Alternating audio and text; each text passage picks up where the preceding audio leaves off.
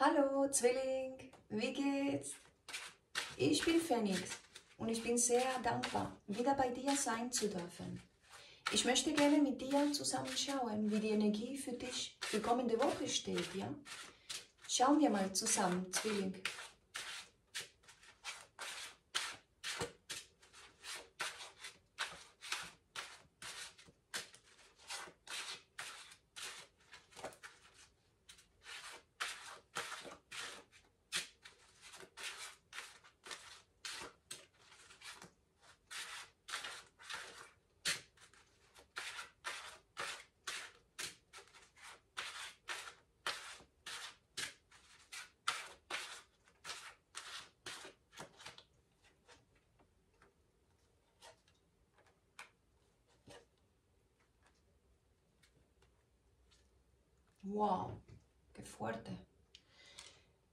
Also, äh, Zwilling hinter dem Deck ist ein König der Schwerter. König der Schwerter, Luftelement wie du. Sternzeichen Wassermann ist sehr stark auf den Tisch. Sternzeichen Wassermann. Aber natürlich Waage, Sternzeichen Waage oder Zwilling kann auch sein, wie du, ja. Also König der Schwerter hinter dem Deck ist eine wichtige Energie, äh, für mich eine ähnliche Energie wie die Gerechtigkeit. Äh, wir könnten hier perfekt mit einer juristischen Situation zu tun haben, ähm, sogar mit der Polizei zu tun haben, wenn wir so, so wollen. Also die, diesen König ist natürlich äh, schon eine wichtige Energie, was mit ähm, Unterlagen, Dokumentation, Papieren, äh, Bürokratie zu tun hat, ja. Also nur damit du dir eine Idee hier machen kannst. Ja. Es kommt jetzt auf deine Situation drauf an, ob du in, äh, in so einer Situation momentan bist, wo du eine wichtige Kommunikation erwartest, was äh, von einem Behörde kommt. Ja. Das kann äh, Finanzamt sein, das kann äh, irgend nochmals eine Behörde, wo man noch äh, Dokumentation abgeben muss oder manche Unterlagen und so Sachen. Ja. Das kann natürlich auch mit einer Operation zu tun haben. Also, dass man eine OP äh, ja, äh, mach, haben wird. Also, irgendeine Operation gibt es hier. Ähm, das ist der König der Schwerter. Ja. Äh, schau mal bitte jetzt hier. Äh, Zwilling, also siebente Stäbe und König der Schwerter. Beide Karten reden auch über Grenze setzen, ja eine Person die Grenze setzt. Das ist das Gefühl hier auch. Siebente Stäbe, du siehst, eine Person ähm, stellt sich auf eine Defensive, eine Person stellt, äh, stellt sich quer da, äh, setzt Grenze und der König der Schwerter kann auch darüber reden, über eine Person die Grenze setzt. Ja. Hier ist sechste Kelchen, ist eine Karte der Vergangenheit, spricht über die Vergangenheit, spricht über die Familie, über Kinder. Zwilling, schaue bitte, welche Karten für dich gekommen sind. Also ich finde es total interessant. Drei der Kelchen, der Schwerter und äh, die Karte der Stern. Und jetzt bin ich am Nachdenken, ja, weil äh, das, kommt, das kommt mir bekannt vor. Ähm, hatten wir das schon nicht mal gehabt bei dir, die Karte der Stern in dieser Position. Also Zwilling, ich sehe eine neue Mentalität hier. Wir reden über eine neue Mentalität. Ja? Diese beiden Karten reden über Klarheit. Äh, und natürlich auch über Entscheidungen. Also Zwilling, ich könnte hier gerade sagen bei dir, dass, ähm, dass wir wirklich hier über Entscheidungen reden. Äh, Entscheidungen und das hat mit manchen Freundschaften zu tun. Freundschaften der Vergangenheit. Menschen, mit denen du viel zu tun hast, ja, äh, schon sehr lang. Also Menschen, die du schon sehr lang kennst, weil sechste Gälchen kamen nämlich auch. Also es kann möglich sein, dass wir hier über Menschen reden, die du schon seit deiner Kindheit kennst, ja. Menschen, die du seit deiner Kindheit kennst und äh, irgendwie gibt es, äh, es ist irgendwie das Gefühl hier, man bekommt eine neue Mentalität und ich setze klare Grenzen mit diesen Menschen, mit diesen sogenannten Freunden, ich setze Grenze. Und das zeigt sich sehr positiv für mich. Also diese Grenze, die ich setze, diesen Schluss, den ich mache, ich mache einen Schluss, ein Ende mit manchen Verhältnissen, ja, äh, das bewirkt eine positive, ja, es, ist positiv für mich. Äh, die Karte der Stern spricht ja über eine Reinigung, ja? Zwilling, eine Heilung, eine Reinigung in der Energie. Die Karte der Stern ähm, ist äh, eine positive Energie. Also ich sehe hier sehr gute Vorzeichen. Das ist, was die Karte uns auch sagt. Also es gibt hier sehr gute Vorzeichen für die Zukunft, ja. Die Karte der Stern ist keine schnelle Karte, keine schnelle Energie, aber doch eine sehr positive, weil ist eine der besten Karten im Tarot, damit du es verstehen kannst. Also das ist eine der besten Karten im Tarot, die Karte der Stern. Spricht auch über Hoffnung, ja, über nochmals, dass eine bestimmte Situation bei dir durch einen äh, guten Stern geführt wird. Es gibt hier eine Führung, eine göttliche Führung irgendwie. Und es gibt hier natürlich eine positive Energie. Und du siehst ja, irgendwie, Sternzeichen Wassermann ist hier sehr stark zu spüren. Aber sehr sogar. Wassermann. Ja? Äh, nochmals, ich sehe hier diese Freundschaft. Irgendwie, diese Freundschaft ist hier. Es ist mehr eine Freundschaft gewesen. Aber nochmals, ich spüre hier einen Schluss. Einen Schluss mit manchen Freundschaft, Freundschaften und das ist für mich gut. Das reinigt meine Energie, beziehungsweise deine, ja, Zwilling. Also das reinigt hier deine Energie, diese, diese Entscheidung, die Entscheidungen, die du hier triffst, reinigt ja deine Energie.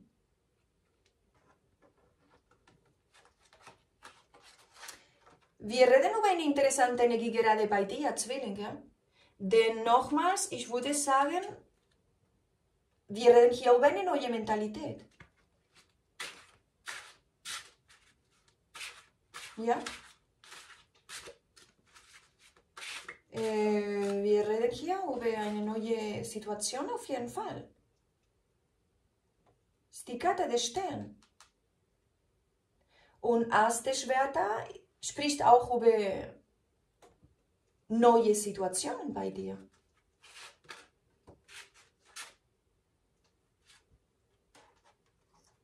Schau mal, zwei Karten sind rausgerutscht. Puppe der Schwerter, Puppe der Kelchen. Auch interessant. Hier sind zwei jüngere Energien. Wir reden ja über Freundschaften oder die sogenannten Freunde. Zwei sind rausgekommen. Wir können natürlich auch über Kinder reden, eigene Kinder. Oder es kommt drauf an, aber du siehst ja, ich sehe hier viele Menschen.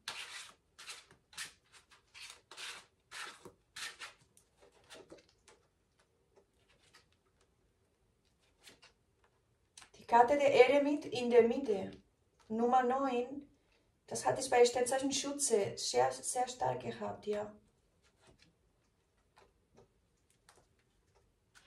Vier Schwerter. Ja, in manchen Fällen hast du mit Sternzeichen Schütze irgendeine Verbindung, ist hier zu spüren. Sternzeichen Schütze hatte vier Schwerter in der Mitte auch gehabt. Ja.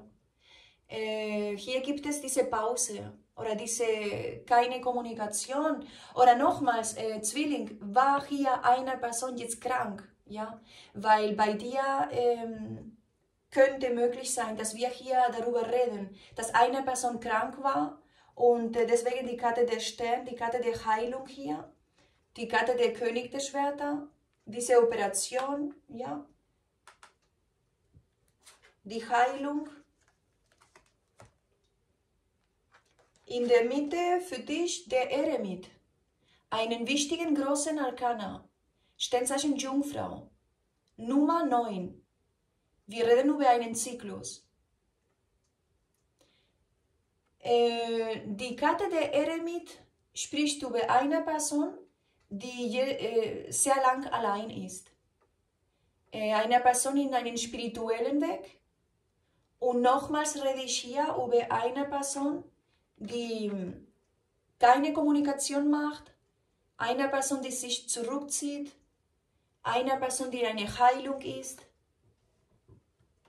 aber eine Person, die sehr viel Weisheit hat, viel Erfahrung im Leben. Diese Karte spricht nicht über eine jüngere Energie, das ist mehr eine reife Person, eine reife Energie. Äh, die Karte der Eremit äh, bekommt auch Klarheit. Ich würde sagen, ähm, Zwilling, ich würde sagen, bei dir spricht man nur über Klarheit. Also, Äh, interessant. Also Zwilling, äh, Jungfrau ist hier. Ja, ich weiß nicht, ob du mit Jungfrau zu tun hast oder was das hier ist, aber momentan finde ich einfach nur ziemlich interessant. Ja, aber nicht nur wegen deiner Legung gerade hier, sondern durch andere Legungen. Also zwei der Kerlchen, die Karte der Eremit und der Stern. Du weißt ja, der Eremit sucht ja auch nach seinen Stern. Der Eremit hat seinen Stern jetzt gefunden äh, diese Person hier ähm, bekommt Klarheit und Licht und weiß, äh, dass eine bestimmte Person hier seinen Seelenpartner ist, Zwillingsflamme. Das Gefühl wäre hier, ich weiß nicht, wer der Eremit jetzt ist, ob du das bist oder ob das sich für die Crosswatchers spiegelt, ja, die Legung. Aber eine Person äh, bekommt hier Licht und Klarheit und weiß, dass äh, ein, den Seelenpartner gefunden zu haben. Also ich weiß, dass ich meinen Seelenpartner oder meine Zwillingsflamme äh, begegnet habe, gefunden habe. Ich habe die Person begegnet, ja. Ich habe Klarheit und Licht in dieser Situation. Ich habe meinen Stern ge gefunden. Das ist das praktisch hier. Der Eremit hat seinen Stern gefunden.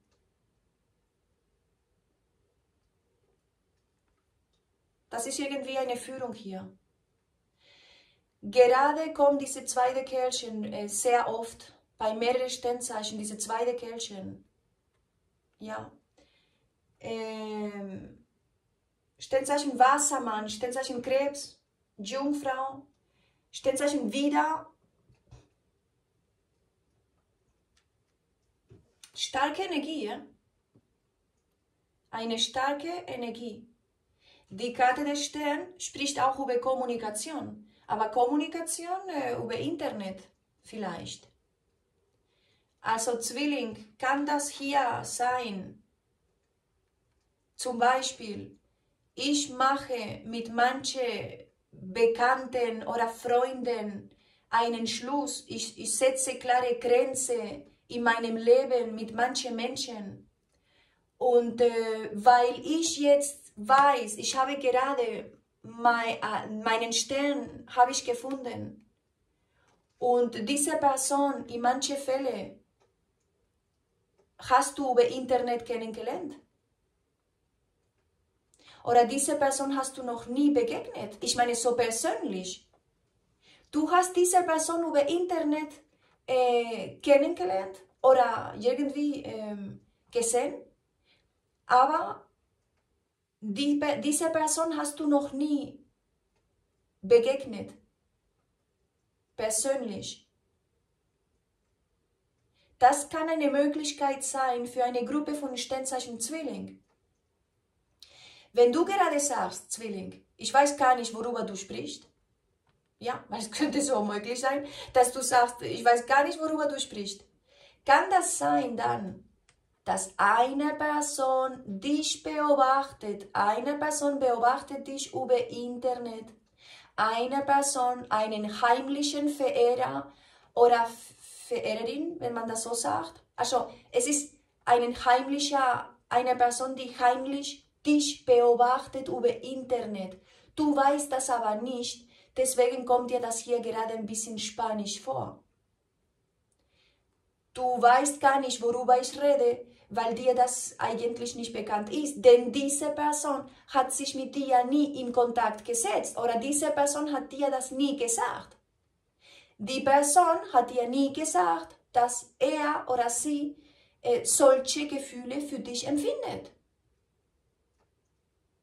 Diese Person, die ich hier habe, ist überzeugt, dass du seinen Seelenpartner oder die Person, die er sucht, dass du es bist. Du weißt das aber gar nicht, weil die Person es dir noch nie gesagt hat. Diese Person ist eine reife Energie. Ich rede hier nicht über ein Spielchen. Die Person ist sich sicher, seinen Stern gefunden zu haben.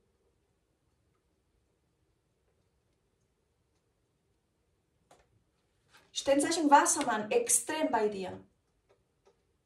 Extrem. In manchen Fällen tatsächlich Wassermann. Ne? Es kommt drauf an. Also ähm, Zwilling, diese Person ist schon sehr lang allein. Diese Person ist in diesem spirituellen Weg, ist eine sehr äh, reife Energie mit sehr viel Erfahrung. Vielleicht eine Person, die etwas älter sein wird als du. Diese Person äh, ist sehr intuitiv und äh, eine starke Energie. Eine starke Energie. Äh, Zwilling, ich weiß auch nicht. Also ich würde gerne nur wissen, wie du das jetzt gerade empfindest, weil weißt du, was ich gerade denke, sehr stark denke, dass das tatsächlich so ist, dass du darüber gar nicht weißt, weil eine Person heimlich dich beobachtet. Heimlich, also äh, ja, und du weißt das gar nicht. dass diese Person sich kommunizieren wird, das kannst du mir glauben. Ja, das kannst du mir glauben. Denn diese Person hier ist natürlich, er kommuniziert nicht viel, aber denkt sehr viel nach. Diese Person hat einen klaren Kopf, ist sehr analytisch, genau natürlich wie der Karte der Eremit. Der Karte der Eremit und der König der Schwerter sind Menschen, die sehr analytisch sind, eine sehr starke, reife Person sind hier mit sehr viel Charakter, einen klaren Kopf, sehr intelligent, muss ich dazu sagen, weil diese Menschen natürlich schon sehr viel Erfahrung haben und äh, überhaupt eine alte Seele ist. Ich habe hier eine alte Seele, Zwilling. Die Karte der Ehre mit für dich in der Mitte ist ja nicht selbstverständlich. Ist nicht selbstverständlich. Eine Person Nochmals, ich weiß nicht, wie das sich hier spiegelt für die Crosswatchers oder für dich. Ich sage nur, ich sehe hier eine Person, die eine starke ähm, Anziehung für dich zeigt. Also diese Person sieht dich wunderschön. Du bist für diese Person die Frau oder der Mann seines Lebens. Also diese Person sieht an dir alles, was diese Person sich wünschen kann. Ja. Also du bist die Person für diese andere, für diese, ja. Also du bist die Person, du bist die, der Mann, du bist die Frau, ja. Diese Person wird sich aber schon kommunizieren. Ne? Die Kommunikation kommt, das kannst du mir glauben. Die Person wird schon von dieser Höhle rausgehen, weil der Eremit ist ja natürlich sehr lang in dieser Höhle drin. Diese Person wird von dieser Höhle schon rausgehen, natürlich. Diese Person wird den ersten Schritt schon geben. Ja? Denn diese Person hat ja Klarheit. Äh, diese Person, die ich hier habe, zweifelt gar nicht. Ich weiß nicht, ich habe, ich glaube, ich habe schon lang, schon längst keine so sichere Energie gehabt. Ich habe erste Schwerter, erste Stäbe. Der Eremit nochmals zeigt eine starke, ziemlich starke Anziehung für dich.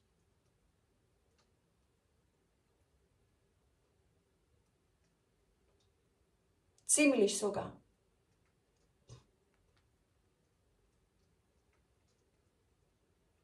Diese Person wird dich schon einladen. Ja? Also irgendeine Einladung kommt hier. Diese Person möchte dich sehen. Du bist einen Wunsch für diese Person. Du bist einen Wunsch, mein Gott. Du bist einen Wunsch, einen Wunsch, der in Erfüllung kommt. Zwilling, ich, ich glaube, du hast mit Sternzeichen Wassermann tatsächlich zu tun.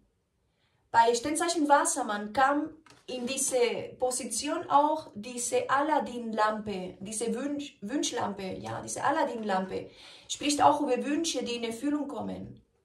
Das ist ein Wunsch. Du bist hier. Eine Person ist hier. Einen Wunsch, der in Erfüllung kommt.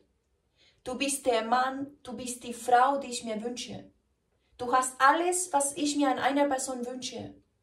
Nicht nur dein Aussehen, sondern alles an dir gefällt mir. Ja, deine Stimme, dein Körper, dein Aussehen. Ja, wie du redest, was du, deine Weisheit. Ja, also eine Person ist hier überzeugt, dass du die Frau oder der Mann seines Lebens bist. Diese Person mag alles an dir. Du wirst jetzt sagen, ja, aber diese Person kennt mich ja nicht, weil ich habe die Person ja nie gesehen. Ja, aber diese Person beobachtet dich über Internet. Diese Person kann dich doch beobachten, irgendwie schon. Und das kann über Internet sein. Wir wissen ja, heute über Internet kann man ja Menschen folgen, ja. Also diese Person mag alles an dir deinen Körper, dein Aussehen, deine Stimme, was du sagst, wie du redest, wie, wie du bist, deine Weisheit und alles. Du bist einen Wunsch für diese Person. Diese Person wird von seiner Höhle rausgehen, denn der Eremit ist sehr lang in einer Höhle gewesen. Diese Person kommt von dieser Höhle nur durch dich, also du bringst diese Person äh, in ein andere, anderes Leben, also diese Person macht, tut Veränderungen nur für dich, nur wegen dir. Diese Person weiß, wenn ich äh, Zwilling haben möchte, muss ich von meiner Höhle rausgehen. Und das muss ich machen. Und diese Person wird das machen für dich so viel, so eine starke Anziehung ist da. Augenblick bitte.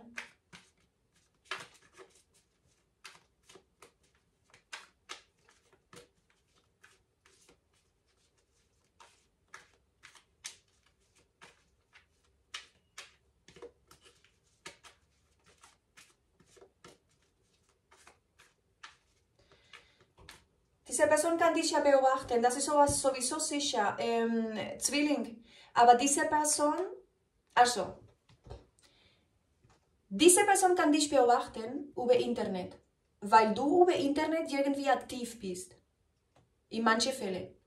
Wenn du sagst, ich bin über Internet gar nicht aktiv, dann du gehst ab und zu mal in irgendeinem Geschäft oder in irgendeinem ja, Geschäft oder Fitnessstudio oder äh, irgendeinen Ort, wo du oft das mal ab und zu mal hingehst.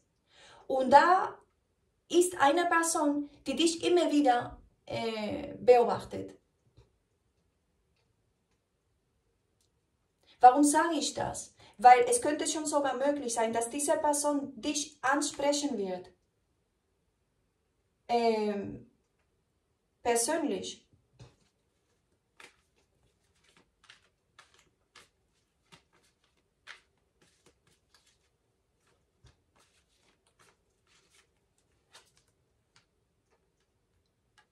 Es kann ein Fitnessstudio oder es kann einen anderen Geschäft, den du ab und zu mal vorbeigehen musst sogar, ja. Äh, es ist egal was, es ist irgendein Geschäft. Wir gehen verschieden, in verschiedene Geschäfte, ja. Ich kann nicht wissen, in welche Geschäfte du reingehst, aber diese Energie ist hier. Wow, qué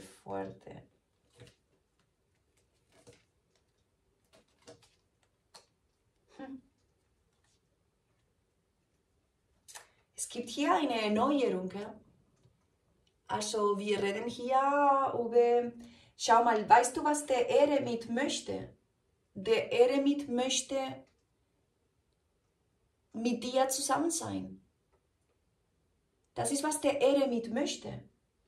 Der Eremit will, wird eine Entscheidung treffen hier. Wird eine Entscheidung treffen, denn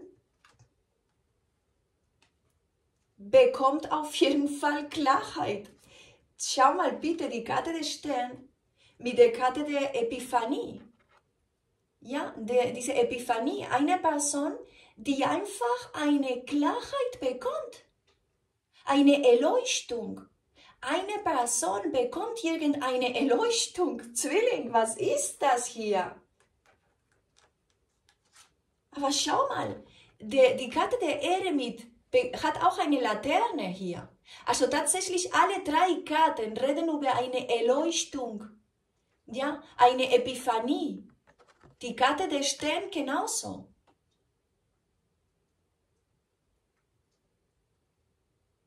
Es ist eine starke Energie bei dir, äh, Zwilling. Und ich meine, ich bin ja intensiv, aber du, du merkst ja, ich mache mir hier ja nicht vor, oder? Ich bilde mir ja nicht ein. Du siehst ja, welche Karten gekommen sind. Das ist ja eine Bestätigung sogar. Diese kleine Karte ist eine Bestätigung für die Karte der Stern. Wir reden schon über eine Erleuchtung, die man bekommt, eine Klarheit. Der Eremit ist sich sicher, ich möchte dich haben. Ich zweifle hier nicht, ich möchte dich schon haben ich möchte mit dir Urlaub machen. ich möchte mit dir in einen Wellness gehen. Ähm, ja, einfach du und ich Urlaub machen. Ja. Und äh, diese Karte spricht über Vertrauen. Vertraue tatsächlich. Und vertraue diese, dieses ähm, göttliches Timing, ja, weil äh, dieses göttliche Timing bestimmt ja dein Liebesleben, äh, Zwilling. Also du musst tatsächlich vertrauen, dass das, was ich dir gerade sage, so ist, wie ich dir das auch sage. Vertraue, habe Geduld, ja, habe es nicht eilig, ja. Vertraue diese, diese göttliche Zeit. Denn wir haben hier ja mit einer Führung zu tun. Von da aus, du musst ja vertrauen, weil die Energie ist die, die die ist. Ja? Es gibt hier eine klare Energie. Es gibt auch eine, eine Hilfe von dieser göttlichen, von einem Geist. Also Zwilling, das ist hier ein Geist. Einer, einen Verstorbenen. Und diesen Verstorbenen, die ich hier habe, hilft dir oder hilft euch in dieser Situation. Diesen Geist hilft euch zusammenzubringen. Wir reden über eine göttliche Führung und das ist schon mal sicher. Es gibt eine göttliche Führung hier. Wer, also ist bei dir zu Hause, in dem Haus, wo du wohnst, ist schon jemand gestorben? Äh, also wenn du sagst, ja, in diesem Haus, wo ich wohne, ist schon jemand gestorben. Es gibt einen Geist, der euch hilft, zusammenzubringen. Äh, wenn du sagst, ähm, also ich spüre hier einen Geist, ein Geist, der dich begleitet, der dich äh, führt. Und diesen Geist ist bei dir zu Hause. Ich meine, ich möchte dir ja nicht keine Angst einjagen, aber so ist es. Es gibt hier einen Geist und diesen Geist ist bei dir zu Hause, natürlich. Diesen Geist assistiert dich, hilft dir. Also ist keinen bösen Geist, ist einen guten Geist. Ja, diesen Geist hilft dir, hilft euch. Ja.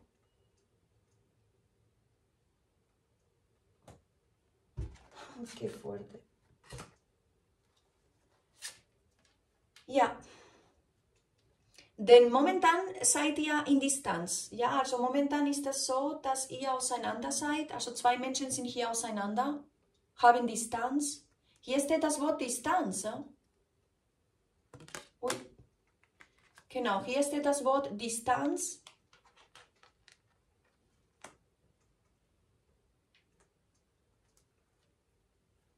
Hier steht das Wort Distanz starke Energie. Zwilling.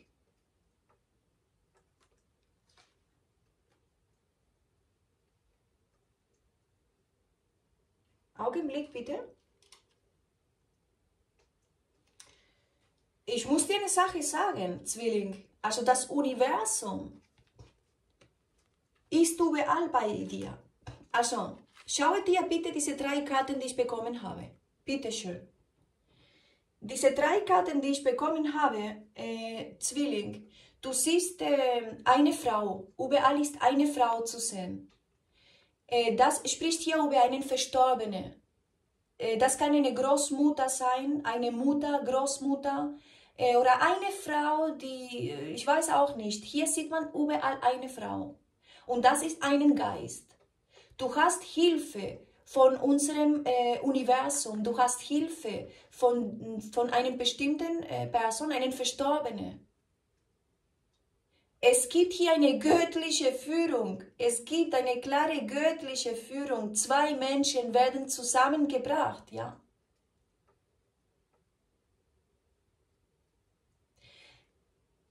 Äh, Zwilling, in manchen Fällen gibt es eine ältere Person, die schon ähm, gestorben ist. Tatsächlich, eine Person ist hier gestorben. Diese Person führt dich, also es gibt eine göttliche Führung.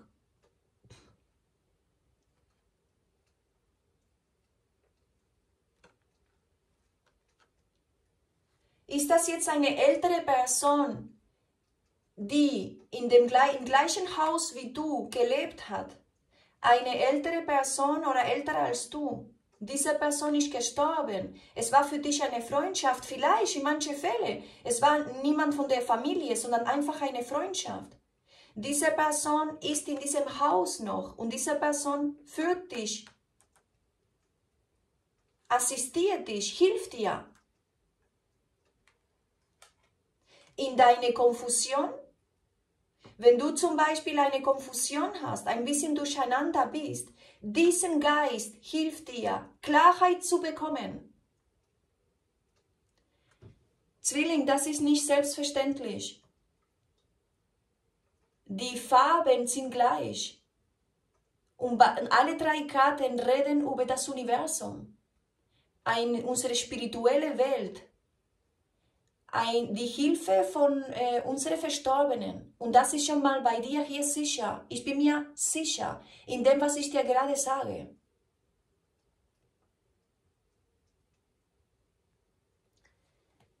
Wenn du momentan konfus bist oder Konfusion hier gab, irgendwie eine Entscheidung zu treffen, glaube mir, Zwilling, du wirst die Du wirst eine Epiphanie bekommen, eine Erleuchtung bekommen, eine Klarheit bekommen und das bekommst du, ähm, weil du Hilfe bekommst, Hilfe von unserem Universum bekommst, dass du Klarheit bekommst. Von diesem Orakel kam für dich, Glück ist auf deiner Seite. Ja, das, das Glück ist auf deiner Seite. Und Kommt von deiner Komfortzone raus. Zwilling, kommt von deiner Komfortzone raus. Ordne, ordne die Situation ein. Befreie deine Freundlichkeit. Du bist doch freundlich, Zwilling. also, befreie deine Freundlichkeit und ordne die Situation ein. Es ist einfach nur interessant. Interessant. Das Ende von, eine, von einem komplizierten Zyklus. Ähm, ja, es, äh, also es, es, äh, einen komplizierten Zyklus erreicht hier ein Ende. Also eine Lösung. Eine Situation löst sich bei dir. Ja. Klar, wenn der Jung, also wenn der Eremit zu lang allein war, weiß nicht mal mehr, was das heißt, äh, lachen. Ja, das Lachen ist bei diesen Eremit auch vergangen. Ja, also irgendwie man weiß nicht mal, wie man äh, lustig sein kann oder lachen kann oder irgendwie Witze machen kann oder ja, man wird irgendwie ein bisschen langweilig. Ja, also die Energie sagt ja, befreie deine Freundlichkeit. Sei freundlich. Ähm, ja, Stell dir mal vor, wenn das jetzt hier zum Beispiel eine Person ist, die du immer wieder mal begegnest, in irgendeinem Geschäft, aber du bist in dieser Höhle, du bist ja ziemlich äh, ernst, du lächelst nicht, Äh, klar, es ist kompliziert, ja. Aber wenn du mit einem Lächeln in einem Geschäft reingehst, äh, es ist irgendwie, äh, es fühlt sich anders an, ja. Also ja, lächeln ist wichtig natürlich, unsere Mitmenschen äh, anlächeln und äh, ist wichtig, ja. Also Zwilling, ich weiß auch nicht. Ich meine, ich sage dir, was ich hier habe. Ich bin sprachlos. Mit deiner Energie bin ich schon sprachlos. Ja? Das muss ich dir schon sagen. Was ich hier spüre, ich spüre äh, Entscheidungen, die man trifft, einen Schluss, den man auch macht, Grenze, die man setzt und ich spüre hier was Neues. Ich spüre einfach was Neues. Ich spüre hier eine klare äh, Erleuchtung, die man bekommt durch Hilfe, die wir durch das Universum bekommen. Und das ist bei dir extrem, extrem deutlich. Extrem deutlich. Zwilling, das ist die Energie. Ich meine, die Kommunikation ist ja da. Ich meine jetzt, ähm, ich würde lügen, wenn ich dir sage, dass die Kommunikation sicher kommende Woche kommt. Also ich würde vielleicht sogar lügen, weil die Karte des Stern ist nicht unbedingt die schnelle, eine schnelle Karte. Und überhaupt nicht vergessen, Zwilling, wir haben hier der Eremit. Der Eremit hat es nicht eilig, der Eremit äh, nimmt sich Zeit. Es ist kein Problem, ja, aber ich meine jetzt nur, dass die Energie, ich sehe schon eine Person, die Klarheit und eine Erleuchtung bekommt. Ja, das sieht man ja. Eine Person, die auch kommunizieren wird, auf jeden Fall. Aber es ist natürlich, jetzt kommt auf die Zeit drauf an, weil die Zeit ist anders für dich als für mich. Von da aus, wir bewegen uns alle in verschiedenen Zeiten. Also von da aus, für, für dich kann doch kommende Woche sein, äh, dass diese Person, die ja mit dir äh, spricht und redet, für mich kann vielleicht noch eine Woche dauern oder zwei, drei oder ein Monat. Ja, es ist tatsächlich so. Denn das Universum ähm, wartet, bis Menschen vorbereitet sind. Ja, bis wir beide nicht vorbereitet sind. Äh, jeder für sich. Wir müssen ja vorbereitet, dann kommt diese Situation nicht äh, es ergibt sich die Situation nicht, ja. Also das müssen wir schon, äh, wir müssen realistisch bleiben, oder? Ich bin schon sehr realistisch. Also auf jeden Fall, äh, Zwilling, es gibt hier eine starke Energie. Äh, ich sehe hier eine starke Situation. Es gibt Freude, ich meine, ich sehe hier eine, eine interessante Energie, ja. Ja, tatsächlich. Das ist, was ich hier spüre einen Wunsch, auf jeden Fall einen Wunsch, den mir fühlen kommt. Zwilling, ich danke dir für deine Likes, deine Abos und ich wünsche dir ein schönes Wochenende. Dankeschön, tschüss.